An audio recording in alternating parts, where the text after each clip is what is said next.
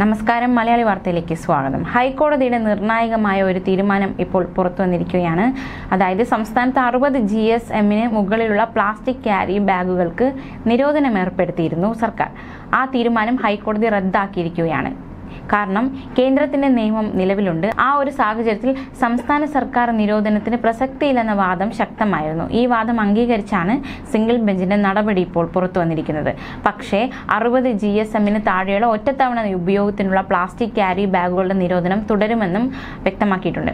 സംസ്ഥാന സർക്കാർ നേരത്തെ തന്നെ ഈ വിഷയത്തിൽ നിർണായകമായ ഉത്തരവ് പുറപ്പെടുവിച്ചിരുന്നു. അതായത് സംസ്ഥാനത്തെ പ്ലാസ്റ്റിക് ക്യാരി ബാഗുകളുടെ ഉപയോഗം പൂർണമായി തടഞ്ഞുകൊണ്ടുള്ള ഉത്തരവായിരുന്നു സർക്കാർ ഇറക്കിയത്. അടുത്തിടെയാണ് അറുപത് ജി എസ് എമ്മിന് മുകളിലുള്ള നോൺ വ്യൂവൺ ക്യാരി ബാഗുകൾക്ക് അനുമതി നൽകി കേന്ദ്ര സർക്കാർ നിയമ ഭേദഗതി കൊണ്ടുവന്നത്. അറുപത് ജി എസ് എമ്മിന് മുകളിൽ വരുന്നത് തുണിക്കടകളിലും മറ്റും ഉപയോഗിച്ചിരുന്ന പുനരുപയോഗ സാധ്യതയുള്ള ക്യാരി ബാഗുകളാണ്. ഹൈക്കോടതിയിലെ ഹർജിയിലെ പ്രധാന വാദം കേന്ദ്ര സർക്കാർ കൊണ്ടുവന്ന നിയമ ഭേദഗതി നിലനിൽക്കെ സംസ്ഥാന സർക്കാരിന്റെ ഉത്തരവിന് നിയമപരമായി പ്രസക്തിയില്ല എന്നായിരുന്നു. കോടതിയെ സമീപിച്ചത് ഇത്തരം ക്യാരി ബാഗ് നിർമ്മാതാക്കളും ചില സ്വകാര്യ വ്യക്തികളുമായിരുന്നു.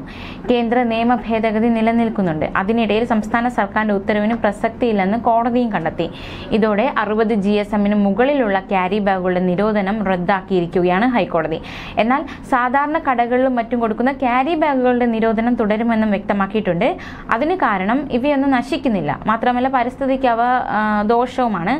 അതുകൊണ്ട് തന്നെ സാധാരണ കടകളിൽ മറ്റും കൊടുക്കുന്ന ക്യാരി ബാഗുകളുടെ നിരോധനം തുടരുന്നുണ്ട്. എന്തായാലും നിർണായകമായൊരു തീരുമാനം തന്നെയാണ് ഇപ്പോൾ ഹൈക്കോടതി സ്വീകരിച്ചിരിക്കുന്നത്. സംസ്ഥാന സർക്കാർ അക്ഷരാർത്ഥത്തിൽ വെട്ടിക്കൊണ്ടുള്ള ഒരു തീരുമാനം തന്നെയാണ് ഹൈക്കോടതി കൈക്കൊണ്ടിരിക്കുന്നത്. അതേസമയം ശബരിമലയുമായി ബന്ധപ്പെട്ടും നിർണായകമായ ചില ഉത്തരവുകൾ കോടതി പുറപ്പെടുവിച്ചിരുന്നു. ശബരിമലയിൽ ചലച്ചിത്ര താരങ്ങളുടെയും രാഷ്ട്രീയ നേതാക്കളുടെയും പോസ്റ്ററുകൾ പതിപ്പിക്കുന്നതും ചിത്രങ്ങളുമായി പതിനെട്ടാം പടി കയറുന്നതും ദർശനം നടത്തുന്നതും ഹൈക്കോടതി വിലക്കിയിരിക്കുകയാണ്. ഇക്കാര്യത്തിൽ വീഴ്ചയില്ലെന്ന് തിരുവിതാംകൂർ ദേവസ്വം ബോർഡ് ഉറപ്പാക്കുകയും വേണം. ക്ഷേത്രത്തിലെ പതിവ് ചിട്ടവട്ടങ്ങളും ആചാരാനുഷ്ഠാനങ്ങളും പാലിച്ച് ദർശനം നടത്താനായി ഭക്തർക്ക് ബാധ്യതയുണ്ടെന്ന് justice Anil K Narendran justice P G Ajith Kumar എന്നിവരുൾപ്പെട്ട bench വ്യക്തമാക്കി. തമിഴ് ചിത്രത്തിന്റെ പോസ്റ്ററുകളും അന്തരിച്ച കന്നഡ നടന്റെ ചിത്രങ്ങളും മറ്റും ഉയർത്തിപ്പിടിച്ച് ദർശനത്തിന് നിൽക്കുന്നവരുടെ ഫോട്ടോ ഒരു അയ്യപ്പ ഭക്തൻ ഹൈക്കോടതി രജിസ്ട്രാർ ജനറലിന് അയച്ചു കൊടുത്തു. ഇതിന്റെ അടിസ്ഥാനത്തിൽ സ്വമേധയാ കേസെടുത്താണ് കോടതി ഇത്തരത്തിലൊരു നിർദ്ദേശം കൊടുത്തത്. പ്രതിദിനം എൺപതിനായിരം അൻപതിനായിരം അല്ലെങ്കിൽ തൊണ്ണൂറായിരം ഭക്തർ ദർശനത്തിനെത്തുമ്പോൾ ഒരു മിനിറ്റിൽ എഴുപത് എൺപത് പേരെ പതിനെട്ടാം പടിയിലൂടെ കടത്തിവിടണം.